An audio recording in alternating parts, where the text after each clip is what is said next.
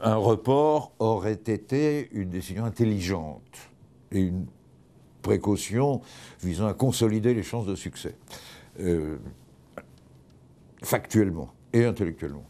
Euh, mais médiatiquement, un report eût été un vaste échec. S'il vous plaît, pitié, l'ONU n'y est pour rien.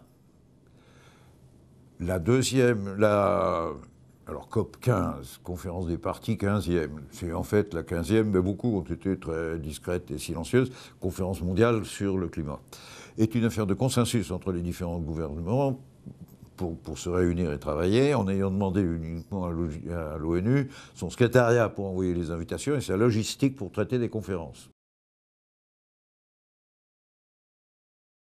La vertu particulière du président de la République française dans cette affaire, c'est d'y avoir mis un peu plus de culot et un peu plus de ténacité que d'autres.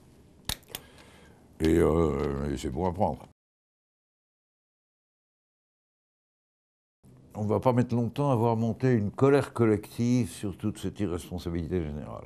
Ce sont probablement les pays en développement qui vont être les premières victimes du changement climatique. Les pays développés se protègent mieux, aussi bien du froid que de la chaleur.